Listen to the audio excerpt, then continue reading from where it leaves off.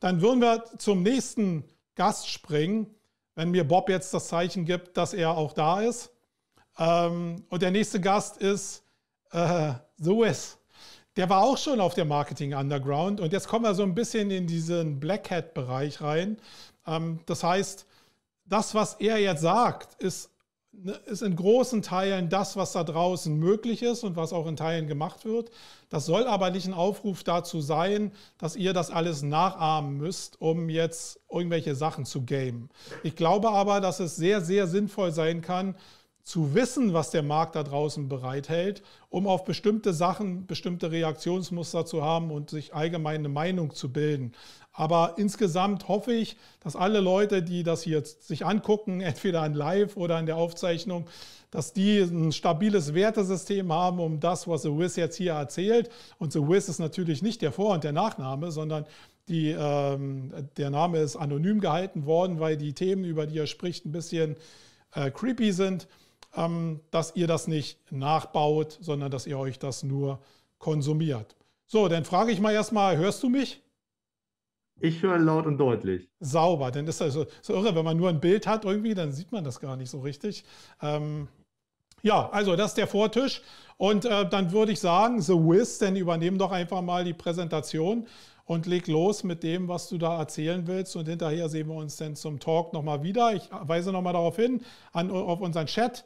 Wenn ihr da Fragen äh, an The Wiz habt, dann äh, könnt ihr den da bitte reinwerfen und dann besprechen wir die hinterher nochmal. Ja, dann teile bitte deinen Bildschirm und dann leg los. Perfekt.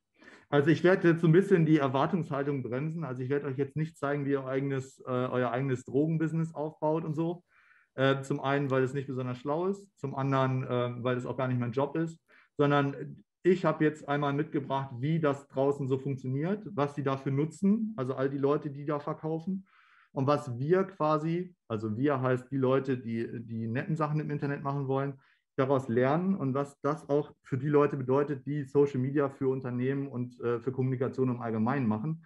Denn das ist ja eigentlich das, was am Ende spannend wird. Ähm, damit ihr so ein bisschen wisst, was da draußen abgeht, zeige ich euch mal so kurz, worüber wir hier eigentlich reden, wenn wir vom Drogenhandel bei Instagram reden. Denn darum geht es jetzt erstmal. Also ich zeige Einblicke darüber, wie ein eigentlich für jedermann zugängliches und familienfreundliches Social-Media-Netzwerk dazu genutzt wird, um Drogen zu verkaufen. Also die verkaufen da alles Mögliche, aber Drogen ist so eins der Dinge, die momentan mega performen, die richtig Umsätze bringen und die auch zeigen, dass es unterschiedliche Strukturen und, und Organisationen gibt, die die Digitalisierung deutlich besser verstanden haben als, weiß nicht, der deutsche Mittelstand vielleicht. Und ähm, an der Stelle wird es halt spannend und interessant, da mal drauf zu gucken, wie die das machen, denn die wenigsten von denen kommen von irgendeiner Uni, sondern die waren alle irgendwie eher auf der Schule des Lebens und haben das, was sie da tun, sich selbst beigebracht und machen das sehr erfolgreich. Und das ist eine ganz spannende Geschichte und da schauen wir jetzt mal rein. Denn wenn wir über Drogen bei Instagram reden, dann reden wir über sowas hier. Das sind kiloweise Kokain, das sind mehrere Kilogramm äh, Cannabis und Gras, das ist Haschisch in Platten gepresst, das sind Ecstasy-Tabletten kiloweise, das sind MDMA-Kristalle und es sind deutsche Accounts. Also alle diese Bilder stammen von deutschen Instagram-Accounts. Wir reden jetzt nicht davon, dass der gute Mann mit seinen Nikes und der Goldkette irgendwie ein kalifornischer Cannabis-Farmer ist, sondern das ist ein Deutscher auf einem deutschen Account und ähm, der sehr unverhohlen damit prahlt und zeigt, wie schnell und wie, in welchen Mengen er liefern kann. Ähm, denn dafür wird Instagram genutzt. Also sie nutzen Instagram dafür nicht nur, um zu verkaufen, sondern auch, um Großhandelsakquise zu betreiben. Das heißt, Händler, die am Ende grammweise an Endkunden verkaufen, finden ihre Großhändler genauso hier. Das heißt, es gibt eine Kommunikation zwischen B2B und B2C über eine Plattform auf unterschiedlichen Leveln und auf unterschiedlichen Ebenen, die da stattfindet und vollkommen unkontrolliert und unzensiert. Und wenn wir sehen, dass da jemand also kiloweise Haschischplatten anbietet ähm, und Bitcoin ready steht, das heißt, du bezahlst für Bitcoin und dann wird das Zeug sofort verschickt, dann wissen wir alle, das hier ist kein Kinderspiel mehr. Also es geht ja nicht darum, dass man sich irgendwie abends hinsetzt und gemütlich einen durchzieht, sondern das hier sind hardcore kriminelle Strukturen, die ihr Geschäft komplett über Instagram abwickeln können. Und dass sie das können, ist einfach ein Problem des Netzwerks. Ähm, aber wie sie das machen und wie sie all diesen Mechanismen gerecht werden, die Instagram quasi von seinen Benutzern verlangt. Und auf der anderen Seite aber auch immer wieder schaffen, diesem Netzwerk nicht quasi zum Opfer zu fallen durch irgendwelche Löschungen oder so. Das werde ich hier gleich so ein bisschen zeigen und dann halt auch die Ableitungen daraus treffen, was unser eins daraus lernen kann. Ähm, dass das Ganze hier kein, kein Nebenberuf ist, sieht man jetzt auf dem nächsten Chart, denn auch das wird regelmäßig und gerne gepostet. Also, wir reden hier von richtig, richtig Kohle und das sind Wochenumsätze. Also wir reden nicht davon, dass Sie jetzt innerhalb von, weiß nicht, einem halben Quartal irgendwie 2.000, 3.000 Euro machen, sondern das hier sind Wochenumsätze. Und das hier bündelweise sind immer mindestens 1.000. Das heißt, man ist ganz schnell in einem Bereich, wo man feststellt, okay, es scheint sich wohl zu lohnen für die Jungs. Das heißt für uns, die haben einen sehr hohen Digitalisierungsgrad, also sie haben verstanden, wie das Spiel gespielt wird die sind maximal flexibel, sind extrem professionell, was die ganze Struktur dahinter anbelangt. Die ist natürlich strukturell gewachsen. Also der Drogenhandel ist ja nicht erst mit Instagram populär geworden, den gibt es ja.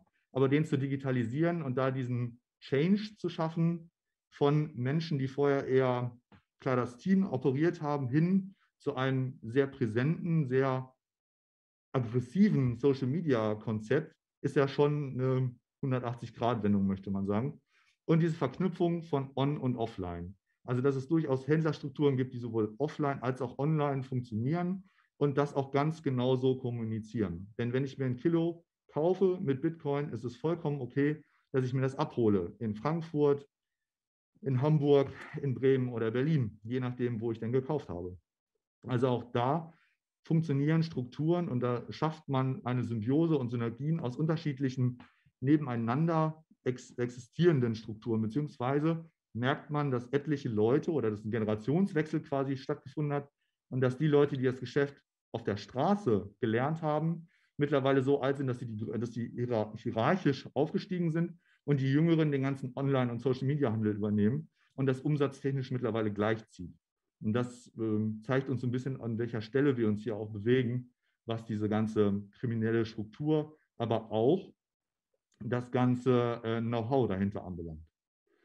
Das Ding ist jetzt, wie finden die denn ihre Zielgruppe? Also woher finden die denn die Leute, um ihr Zeug zu verkaufen? Und das ist natürlich bei Instagram ex extremst entspannt einfach. Also wir wissen, dass Instagram dafür da ist, um Werbung auszuspielen und Leute mit ihren Interessen quasi zu konfrontieren.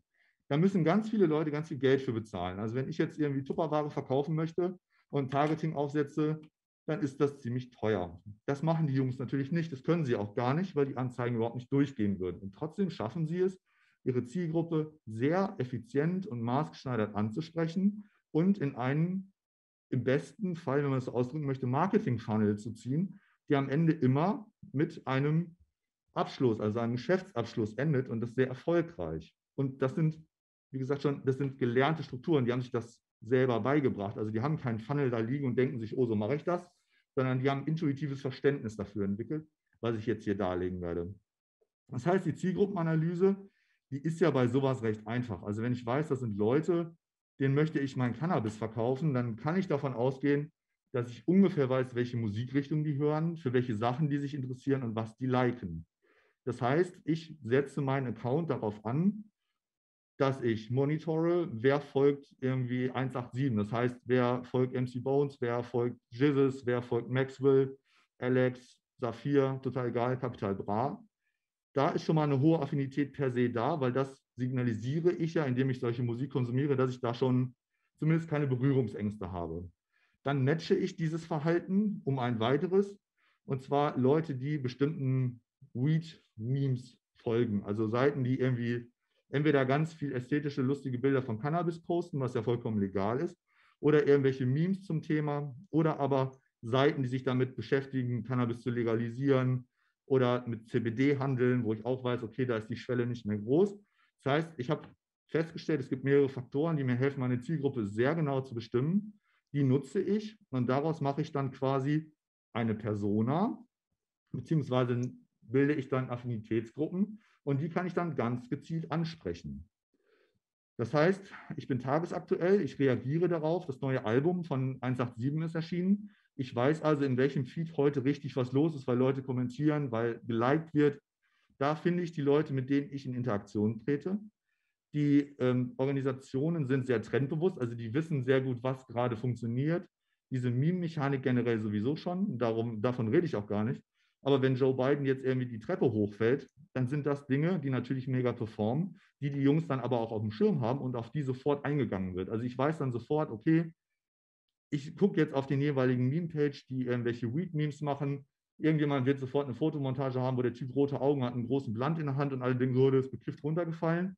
Und auch darauf kann ich dann eingehen und kann dann meine Zielgruppe finden und kann darüber, wenn ich selber Content kreiere, die Zielgruppe auch auf meinen Kanälen quasi unterhalten und ansprechen und auch das passiert. Das heißt, diese Gruppen sind tagesaktuell trendbewusst und maximal involviert in das aktuelle Geschehen ihrer Szene, würde ich es jetzt mal so nennen. Und ganz wichtig, dieser Lifestyle, den das Ganze mitbringt, dieser Lifestyle, der wird gelebt. Das heißt, da sitzen nicht Leute, die einfach nur sagen, so, oh, ich habe ein Produkt, was ich verkaufen will, sondern die leben ihr Produkt. Und das ist an ganz vielen Stellen ganz, ganz wichtig. Und das ist, glaube ich, einer der ganz großen Vorteile, die solche Jungs mit sich bringen und ganz intuitiv verstanden haben. Das heißt, die posten nicht nur Cannabisbilder und Drogenbilder, sondern die posten einfach, wie die so leben und was die so machen und wie die sich irgendwie als Gangster fühlen und wie sie ihr Geld ausgeben und dass sie sich irgendwie eine neue Gucci-Tasche kaufen. Das volle Programm, dass sie in einem AMG sitzen und Richtung Holland fahren. Das passiert alles. Und das sind alles Dinge, die sie zum einen tun, weil sie es einfach für sich geil finden und zum anderen aber auch, weil die funktionieren. Weil die Zielgruppe nämlich genau das wiederfindet, was in den Songs von Capital Bra und 187 gesungen wird. Also es findet eine Übersetzung von, von Lebensstil in gelebte Realität statt, die natürlich eine gewisse Faszination mitbringt und natürlich auch den jeweiligen Urheber des Contents verifiziert. Also ich zeige, dass ich Teil dessen bin, was da passiert. Zeugt zum einen davon, hohes Vertrauen in der Szene selber zu gewinnen. Das heißt, ich bin nicht einer, der irgendwas da reinwirft, sondern ich bin Teil des Ganzen. Und ich mache dann kein Geschäft mehr mit irgendjemandem, sondern mit jemandem, der so ist wie ich. Das heißt, diese Kommunikation auf Augenhöhe ist da extremst begehrlich und sehr effizient an der Stelle.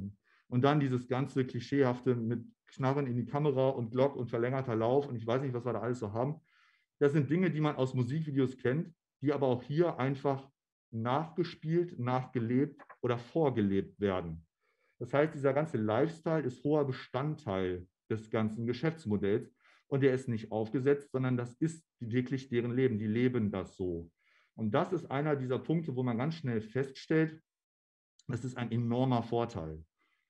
Die schaffen es nämlich über diese Ebene eine Kommunikation aufzubauen, die mit maximalem Trust aufgeladen ist. Und das ist ja das, woran ganz, ganz, ganz, ganz viele Leute scheitern, wenn sie sich im Social-Media-Bereich bewegen, weil sie immer irgendeinem Trend hinterherlaufen oder irgendwas gelesen haben, was sie machen müssen und nicht verstehen, dass sie eigentlich nur sie selbst sein müssen und das, was sie tun, ehrlich machen müssen. Und wenn das keinen überzeugt, dann ist das okay, weil dann überzeugt es halt keinen. Ich muss aber nicht krampfhaft versuchen. Und das passiert ja mittlerweile ganz oft und das tun diese Jungs überhaupt nicht und müssen sie auch gar nicht. Und da scheißen die auch drauf. Dafür sind die nämlich gar nicht da. Und das ist eins dieser ganz vielen großen Faktoren oder Erfolgsmodelle, die sie da quasi leben, die mega performen. Und das heißt, das Fazit aus dieser Lifestyle-Geschichte, maximal authentisch. Diese Authentizität ist extrem zielgruppengerecht und spricht die Zielgruppe da sehr an. Auch da wieder tagesaktuell. Die feiern aktuelle Lieder. Die gratulieren irgendwelchen äh, Hip-Hopern zu einem Release die feiern aber genauso irgendwie den nächsten Sneaker-Drop von Supreme und Nike.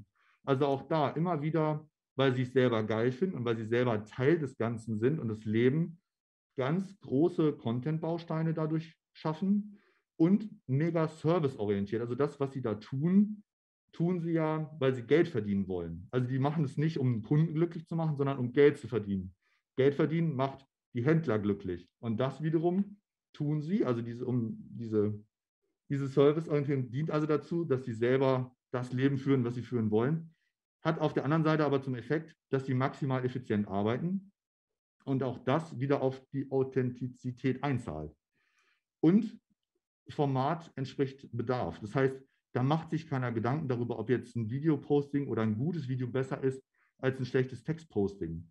Das ist vollkommen egal, wenn der Rest nämlich stimmt, ist das Format auch vollkommen egal, solange der Bedarf gedeckt wird. Und der Bedarf ist einmal die Erwartungshaltung der Zielgruppe, zum anderen aber auch mein Bedarf, was möchte ich erreichen, was möchte ich verkaufen, wo möchte ich landen. Und diese Form ist da maximal effizient und total spannend zu sehen, was passiert, wenn man sich von diesem ganzen Algorithmus und was muss ich denn alles beachten, Dogmen löst und es einfach versteht, auf Augenhöhe authentisch zu kommunizieren und dann natürlich immer wieder das ähm, im, im Sinne der Zielgruppe zu machen, was aber da quasi intrinsisch passiert. Wenn ich das also habe, also einen Account und der trusted ist und der so aussieht oder der auch so gelebt wird und ich weiß, wo ich meine Zielgruppe finde, dann wird diese Zielgruppe angesprochen. Die Ansprache der Zielgruppe erfolgt auf unterschiedlichen Ebenen. Zum einen über automatisierte Textnachrichten, also es werden einfach automatisiert an alle, die unter folgendes äh, Posting kommentiert haben, Nachrichten verschickt. Dafür werden dann weitere Accounts aufgesetzt, die dann mit einfachsten Mitteln, also das kann ja mittlerweile jeder mit einem halbwegs funktionierenden Windows-System und der richtigen Software machen, da braucht man ja gar nichts mehr für. Ähm, das heißt, ich setze mir fünf Accounts auf und die schreiben dann einfach schön straight der Reihe nach alle Leute an, die das Bild geliked haben. Und dann sage ich denen, hallo, ähm, feiere ich auch mega, was ich noch mehr feiere, ist das geile Gras, was ich hier habe, guck doch mal. Und lenkt die dann auf einen anderen Account. Und das passiert haufenweise, also zu Tausenden werden diese Nachrichten verschickt und sind einer der vielen Anker, um diese Leute quasi an Bord zu holen und sie auf meinen Account aufmerksam zu machen. Des Weiteren immer wieder das ähm, Kommentieren, das selbstständige Kommentieren unter solchen Postings und den Verweis auf sein eigenes Angebot über Bots. Auch das funktioniert sehr gut und ist sehr effizient. Was aber auch passiert, sind all diese Dinge, die man schon kennt. Also es gibt durchaus so eine Art von Influencer-Marketing oder Affiliate-Marketing. Also dass ich Leuten, Kunden von mir äh, Provision oder Bonus in Aussicht stelle, wenn sie es schaffen, weitere Kunden zu gewinnen. Und auch hier sehen wir auf einem Screenshot ab 250 Euro Bestellung immer mit dabei. Ähm, gerade jeder, der irgendwie schon mal gekifft hat, weiß, dass es durchaus dazu führen kann, dass man einen gewissen Heißhunger entwickelt. Diese Serviceorientierung, dieses Bedürfnis des Marktes zu verstehen und zu decken in der Form von einer, was weiß ich, 59 Cent Chipspackung. So banal das auch ist, kommt mega gut an, weil die Zielgruppe nämlich versteht, es geht, also die Zielgruppe versteht geil, der hat mich verstanden. Denn es geht hier gar nicht um 59 Cent für Chips, sondern es geht darum, dass der weiß, wenn ich kiffe, kriege ich Hunger oder habe irgendwie einen seltsamen Geschmack und muss mal irgendwie hier Chips essen. Ähm, das sagt nämlich, dass derjenige, der mir das verkauft, Teil meiner Lebenswelt ist und mich versteht und Teil des Ganzen ist. Und ich dadurch natürlich nochmal einen ganz anderen Zugang zu ihm finde. Und das macht es dann am Ende aus, was nämlich aus einem anonymen Account am Ende Marken macht. Also es gibt durchaus Accounts, die es geschafft haben, einen sehr passablen Namen zu bekommen und Reputation aufzubauen, ohne dass man ansatzweise weiß, was da passiert. Aber genau durch diese Mechaniken ähm, ein hohes Level an Kundenzufriedenheit, Vertrauen und ähm, Händlerrelevanz aufbauen.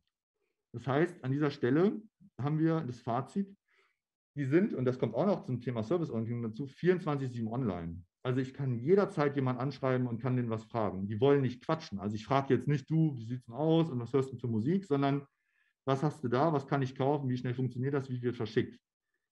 Ich habe keinen erlebt, der länger gebraucht hat als eine halbe Stunde. Und also wir reden jetzt immer noch von deutschen Accounts. Da kannst du Tag und Nacht hinschreiben, da sitzt immer irgendjemand. Das sagt uns auch, das wird nicht immer derselbe sein, sondern diese Accounts werden von mehreren Leuten betreut.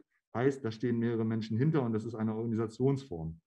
Aber die haben es verstanden, dass Kundenservice und Erreichbarkeit das höchste Gut ist. Denn wenn ich nicht erreichbar bin, dann gehe ich woanders hin und kaufe auch woanders. Das heißt, sobald ich antworte, bin ich in der Lage, den Deal abzuschließen.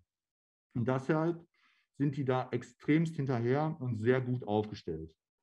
Die komplette Kommunikation ist extremst persönlich. Also die sind nicht nur in der, in der Anrede sehr persönlich, sondern auch so sehr darauf bedacht, ein Verhältnis aufzubauen, was zum einen zeigt, ich bin hier der coole Typ, der das ganze Gras hat und ich bin auch ein böser Gangster, den du gar nicht erst voll labern solltest und abziehen. Auf der anderen Seite bin ich aber auch einer von dir und wir beide sind beide cool, wenn du deinen Teil erfüllst, das Geld zu bezahlen und das zu machen, was du willst, nämlich das Zeug zu bekommen und mich nicht zu stressen, dann bin ich auch maximal nett zu dir und auch dann funktioniert das.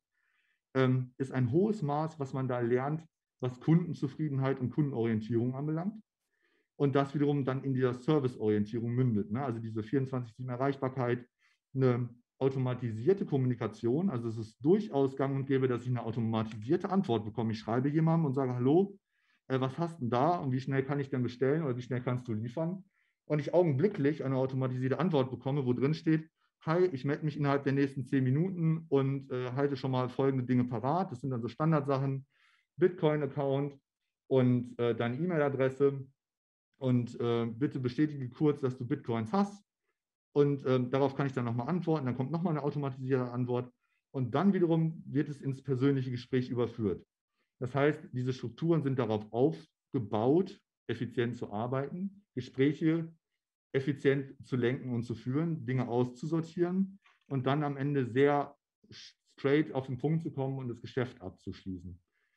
Das heißt, wir lernen Erreichbarkeit, das höchste Gut, persönliche Ansprache in Form und in Kombination mit automatisierten Mechaniken ist ähm, extrem simpel umzusetzen und an der Stelle sehr effizient.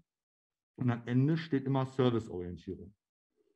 Das heißt, wenn wir uns das angucken, wie diese Jungs ihre Kanäle betreiben, ohne dass man mit denen eine Social-Media-Schulung gemacht hat oder andere Dinge, dann stellen wir Folgendes fest. Es gibt gewisse Learnings, die wir für uns an dieser Stelle rausziehen können.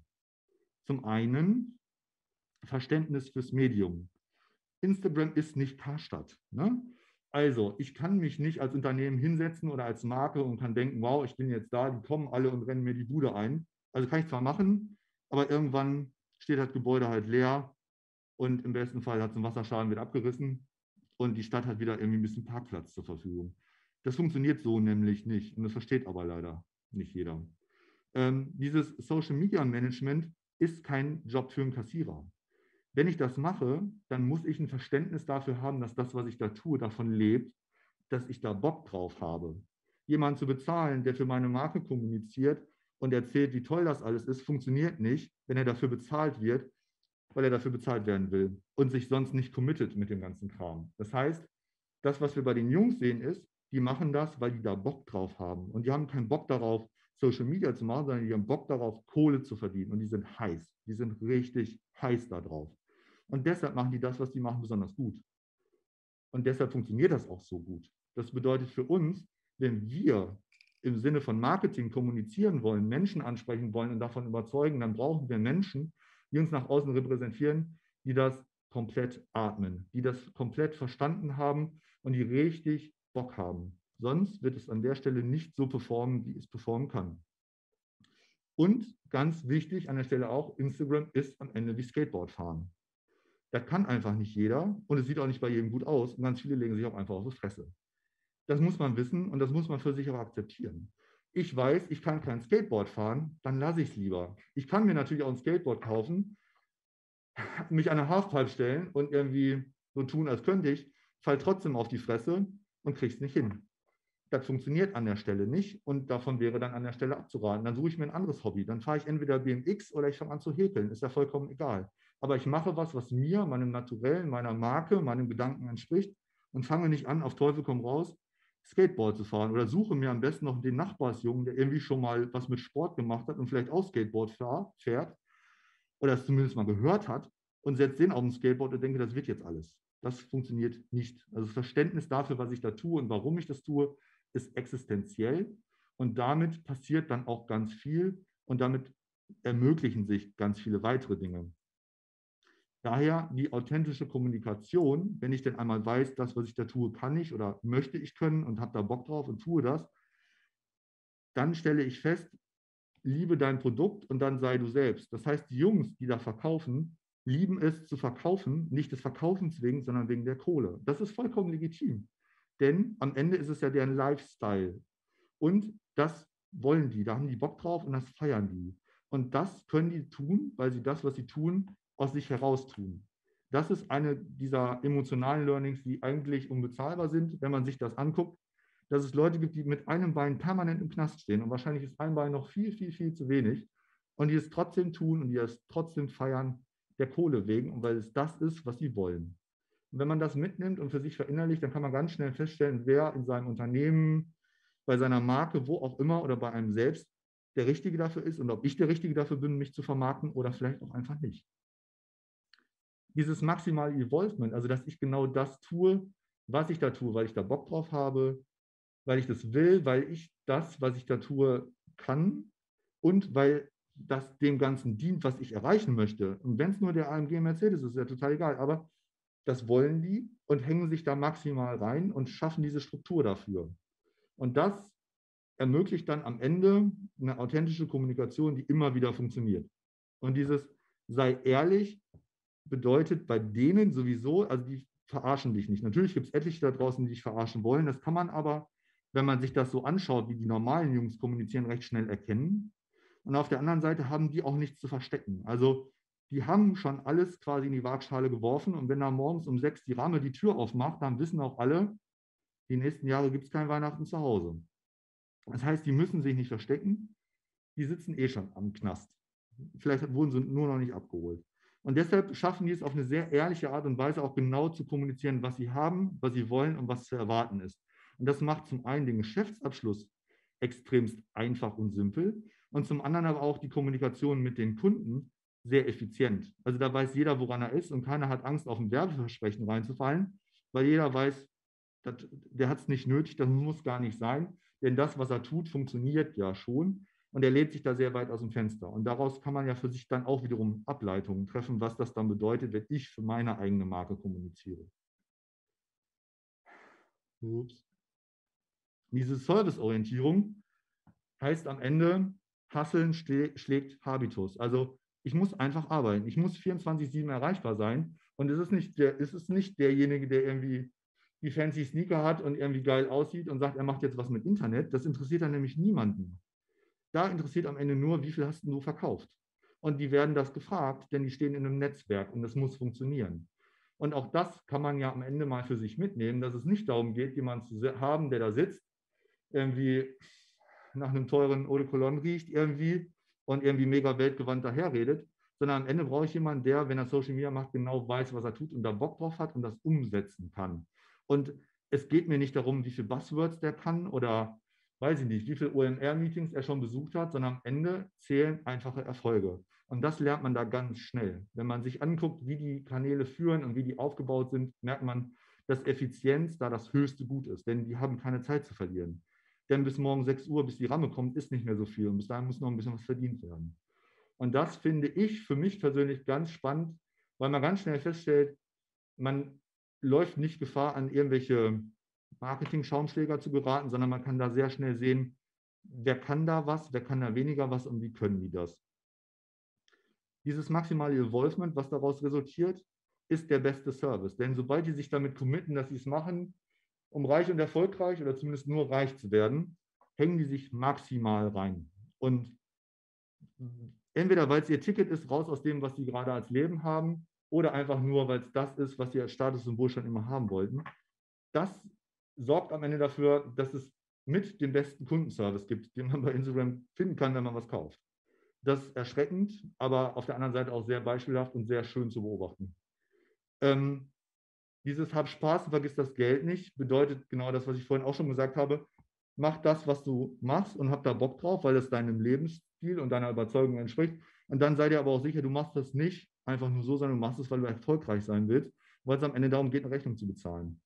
Und das in Konstellation macht es dann wiederum effizient, macht es gut und macht es dann auch besonders serviceorientiert. Und ganz wichtig, sei pragmatisch. Also wenn du dir das Ganze anguckst, stellst du fest, scheiß mal auf Format und Algorithmusdogmen. Also du kannst ja noch so viel Kalender runterladen, wo irgendwelche vorgeplanten Postings für irgendwelche Social-Media-Kanäle drinstehen. Du kannst dir so viel Vorträge und Bücher reinziehen, wo drin steht, ob es jetzt besser ist, ein hochwertiges Video oder ein schnelles Video oder ein kleines Video oder ein buntes Video oder ein Foto oder ein Bild oder ich weiß nicht was zu produzieren. Du kannst aber auch einfach mal feststellen, dass das alles scheiße ist, wenn du es nicht verstanden hast, die Leute richtig anzusprechen. Und sich diesen ganzen Algorithmen, Dogmen und Formatdogmen zu unterwerfen, ist absolut sinnlos. Wenn der Rest nämlich funktioniert, ist, ist es vollkommen egal. Dann bestimmt nämlich die Audience das, wie dann kann, oder die, die, die Verbreitung und das, die Performance deines Kanals. Und darum geht es am Ende. Und das machen die megamäßig gut vor, weil man da feststellen kann, dass die Reichweiten erzielen mit ihren Postings da können andere Leute nur von träumen. Und das erreichen die nicht, weil die sich an all die Dinge halten, die man überall lesen kann oder für teuer Geld einkaufen kann, sondern weil die verstehen, dass sie das, was sie machen, nur machen, damit es der Kundschaft gefällt. Und das ändert sich von heute auf morgen. Die sind maximal flexibel, die sind da hocheffizient. Und das sich daraus zu lösen, und die unterliegen diesen Dogmen ja gar nicht, die kennen die noch nicht mal und haben es deshalb verstanden, frei davon, ihr, eigenen, ihr eigenes Selbstverständnis quasi umzusetzen, wie sie das machen. Und das machen sie sehr, sehr gut. Dieses erlebnisorientierte Handling, also ich möchte am Ende folgendes Ergebnis und deshalb handle ich so, ist bei denen tonangebend und sorgt dann am Ende dafür, dass es sehr effizient ist. Und auch das kann man ja für sich mitnehmen. Also immer zu wissen, was will ich am Ende wirklich davon haben und wie erreiche ich das. Und das bitte nicht im Plump, sondern zielgruppengerecht. Ähm, diese Authentizität ist bei denen das beste Branding. Also die brauchen nichts. Die brauchen kein, keine Reputation und keine Fünf-Sterne-Bewertung bei Google oder sonst irgendwas. Die sind einfach sie selbst und werden deshalb von der Zielgruppe verstanden und werden dafür hart gefeiert. Dieses ein offenes Auge für Lücken haben, habe ich in der Recherche gelernt, ist bei denen ganz, ganz weit vorne. Also, dass Instagram irgendwann angefangen hat zu sagen, okay, Cannabis-Bilder sind per se schon mal okay, weil sobald es in Kalifornien legalisiert ist, dann sind die Bilder bestimmt daher und dann ist alles gut.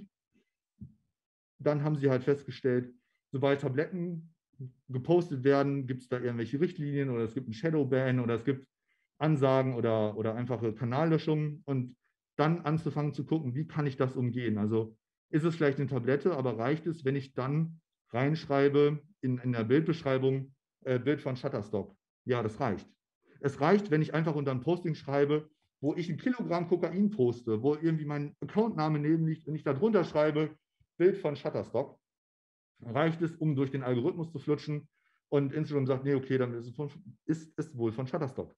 Also solche Dinge für sich mitzunehmen und zu verstehen, wie einfach und wie simpel es manchmal ist, Instagram da, also ich würde es noch nicht mal sagen, ich würde es noch nicht mal Austricks nennen, ne, sondern einfach nur zu gucken, was da gerade geht, weil die sich einfach einen Scheiß um ihren eigenen Laden kümmern. Da lernt man sehr viel und kann ganz viel für sich mitnehmen, wenn man irgendwann anfangen möchte, seine Grenzen etwas dehnbarer zu gestalten. Und dann am Ende geht ein Fick auf die anderen und noch einen viel größeren auf irgendwelche Regeln ich rede gar nicht davon, alles kaputt zu machen, sondern wenn ich sehe, wie diese Jungs damit umgehen und wie sie ihre Accounts pflegen und ihr Geschäft machen, die scheren sich einen Scheiß. Ne? Also die wissen einfach, sie müssen nur in der Zielgruppe funktionieren und alles andere ist vollkommen egal. Es ist vollkommen egal, welche Außenwirkungen sie haben, ob sie gekickt werden, ob, was da auch immer passiert, ob sie von anderen Leuten beleidigt oder als, als Scammer, also Betrüger hingestellt werden. Das macht denen überhaupt nichts. Das ist vollkommen egal, solange der Rest funktioniert. Also dieses, es, auch da gibt es ja so eine Art Shitstorm. Also irgendjemand initiiert dann etwas, wo es dann heißt, der hat mich nicht beliefert, der hat mich abgezogen, ich weiß es nicht, um einen Konkurrenten auszuschalten auf digitale Art und Weise. Aber auch das ist, es verhält einfach und funktioniert einfach nicht, weil die es geschafft haben, dadurch, dass sie schon eine gewisse Kundenbasis haben und eine gewisse, naja, Ignoranz auch einfach an den Tag legen, was das anbelangt, das einfach straight auszusitzen. Das heißt natürlich nicht, dass ich allen Marketingmenschen empfehlen würde, einen Shitstorm auszusetzen oder auszusitzen, sondern eher zu verstehen, dass es manchmal Dinge gibt, die passieren werden und dass ich mich nicht nach jedem Husten irgendwie sofort umdrehen muss, sondern dass ich es schaffe, sobald es oder solange es in der Zielgruppe funktioniert, ich es mir auch durchaus leisten kann, mal nicht zu reagieren. Das ist dann ähnlich wie die True Fruits Geschichte, die es ja auch immer wieder schaffen, einige Dinge sehr gekonnt auszusitzen. Ähm, aber hier auf einem sehr pragmatischen Level am Ende. Und das ist an der Stelle sehr spannend und sehr schön zu sehen, wie das dann so umgesetzt wird. Und das war jetzt hier ein auf äh, fast on point zeitmäßig zusammengedampftes Zwei-Stunden-Referat. Und ich hoffe, ich habe ein wenig Einblick geben können über das, was da draußen passiert, wie da Customer Centricity quasi im Sinne von Drogenhandel und äh, Plattformnutzung zelebriert wird. Und ähm, für den Fall, dass irgendjemand Fragen hat, die jetzt hier nicht im Chat beantwortet werden oder sonst irgendwas hat, dann kann er mir gerne schreiben. Ich werde, das sage ich auch immer dazu, keine Accounts geben. Also ich werde nicht zeigen, wo man was bestellt. Ich werde zum einen nicht nennen, wer da verkauft, weil ich nicht die Polizei bin und auch noch nie für die Polizei gearbeitet habe, im Gegensatz zu Marke, ähm, was vollkommen cool ist. Ähm, Und zum anderen werde ich hier auch keine Anleitung geben, wie man sich ein Kilo Koks kauft. Also das müsst ihr bitte alle mal selber regeln, das ist nicht meine Aufgabe. Und an der Stelle wäre ich jetzt fertig und äh, würde schauen, was jetzt passiert. So, mein Lieber. Äh, ich habe ja im Vorfeld, bevor du den Vortrag hier gemacht hast, mir eine Menge Gedanken gemacht darüber, was ich vielleicht als Fragen stellen würde. Ich muss sagen, also wir sind jetzt schon ein bisschen über der Zeit, ist mir aber auch scheißegal. Äh, ich glaube, äh, inspirationsmäßig wird an dem Vortrag das ganze Jahr 2021 kaum ein Vortrag vorbeikommen, würde ich jetzt mal für mich persönlich ähm, sagen. Also für, für mich persönlich, und ich kann jetzt nur für mich sprechen, äh, war das phänomenal. Und ähm, wir haben eine Frage, die können wir vielleicht noch machen, lieber Gerd. Ich glaube, du bist hier auch im Publikum, du wirst vielleicht tolerant sein. Ähm, war nur die Frage danach, wenn man das alles nicht an Möglichkeiten hat ähm, und ein Unternehmen meinetwegen ist und äh, jetzt nicht eine Marke mit Lifestyle aufladen kann, sollte man dann Instagram lassen? Also du hast ja jetzt so auf Instagram funktioniert, äh, äh, fokussiert. Oder sollte man dann grundsätzlich alles lassen, was mit Social Media zu tun hat? Weil die Grundmechanismen, die du gerade beschrieben hast, die sind ja im Erfolgsbereich alle für, eigentlich für alle Social-Media-Aktivitäten eigentlich anwendbar. Ja und nein. Ne? Also der Social-Media-Kanal richtet sich ja immer so nach deiner Zielgruppe und der Audience. Also wenn ich einen Dachdeckerbetrieb habe aus Leipzig, dann würde ich dir empfehlen, lass das mal mit Instagram. Also kannst halt machen, wenn du jetzt irgendwie die mega fancy Typen hast, die das dann leben. Also wenn du jetzt irgendwie Horst bist, 56, dann lass es bitte. Wenn du Mike, keine Ahnung, 26 hast, der irgendwie Geselle ist und ihr wieder Bock drauf hat, weil er deinen Betrieb liebt und weil er seinen Job liebt und irgendwie geile Bilder davon macht, wie er im Gegenlicht in der Abendsonne irgendwie auf dem Dach steht, dann mach das bitte sofort, weil dann wird es gelebt und dann ist es authentisch und dann ist es nachzuvollziehen. Und dann kannst du darüber für dich, und das ist dann ja auch schon Brandbuilding quasi betreiben und darüber nachdenken. Aber wenn du Horst 56 bist, dann ähm, und du das alles nicht machst und auch nicht so genau weißt, warum die das jetzt alle so feiern, was da passiert, dann lass es bitte du aber dann vielleicht für dich feststellst, dass Facebook genau das ist, was du gerne machst, weil du ist auch dein Dackelzüchterverein und ich weiß nicht, deine alten Schulfreunde, dann mach das da so, wie du es da machen würdest und dann mach es gut. Und wenn du es verstehst, was du da tust und weil du da auch privat unterwegs bist und deine Affinität zu hast, dann hast du ja auch eine ganz große Chance, dein Verständnis dafür quasi dann da in dein eigenes Brandbuilding umzusetzen. Aber jetzt wie alle anderen irgendwie zu Clubhaus zu rennen, obwohl ich irgendwie nicht reden kann, sollte jedem klar sein, dass es nicht so erfolgsversprechend ist.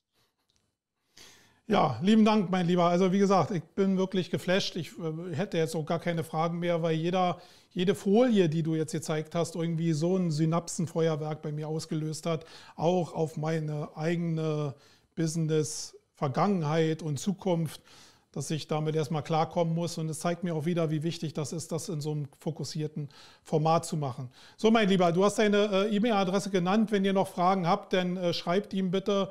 Er hat die Einschränkungen selbst gesagt. Und sonst, mein Lieber, ich danke dir herzlich, dass du dabei warst und äh, für die Inspiration, die du auch jetzt persönlich mir gegeben hast. Bis dann. Jederzeit gerne. Vielen Dank. Danke Ciao. dir.